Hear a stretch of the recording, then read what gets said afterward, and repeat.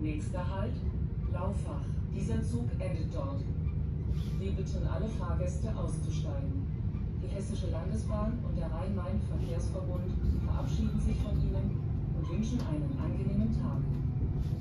Ausstieg in Fahrtrichtung rechts.